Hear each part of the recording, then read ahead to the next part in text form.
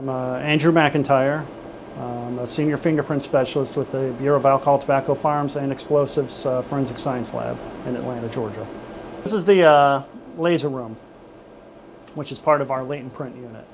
So what happens is we will take evidence that's uh, received from the special agents and we'll begin to process them for fingerprints. Uh, what we do first is we will superglue fume the items and what happens is we'll heat superglue and the fumes from the superglue will envelop the evidence and adhere to the latent print residues or fingerprint residues. Uh, once that has happened, that fixes the print to the surface. Then uh, we will apply a laser dye stain.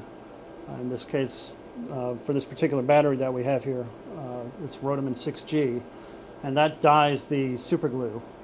And then we will take it here into the laser room and apply laser light to the surface of the object and check to see if there's any latent fingerprints that are on the item.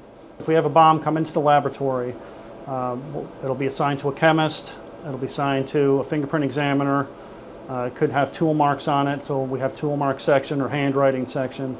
And we basically take a team approach to it to try and maximize the value of all the different pieces of evidence that come through the laboratory. Fingerprints degrade uh, almost instantaneously. When you put your, when you touch something, uh, the print is subject to evaporation because it's 99% water, and also ultraviolet from the sun uh, can start to degrade certain components that are in the latent print residue. So the sooner we can apply the superglue fumes to it, then we're preserving that as well as other types of evidence that may be present. If we can find the fingerprints on an item, then we can possibly determine who manufactured a improvised explosive device. We're trying to find the bad guys. So we are trying to identify uh, whoever may have created uh, an improvised explosive device. And so oftentimes in these uh, bombs, there are batteries. Uh, you may have the actual outer casing of the pipe or the container that the device was created with. If they've used tape, we can, we'll pull uh, layers and layers of tape apart and try to find if there's any fingerprints that may be under there, as well as hairs and fibers. On this battery, uh, there's a uh, fingerprint that's fluorescing and is currently being captured by this uh, digital camera. So we're applying laser light, which is of a uh, specific color, and the color is absorbed by the Rhodamine 6G. And what that does is it excites the electrons. And the electrons want to go back to their ground state. When they do that, they emit a photon of light.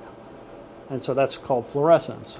And so we use a barrier filter here, which only lets the fluorescing color come through and excludes everything else. And that way we can see, uh, we can maximize the fingerprint that's on the item while lowering the background interference that may be present from the surface of the item.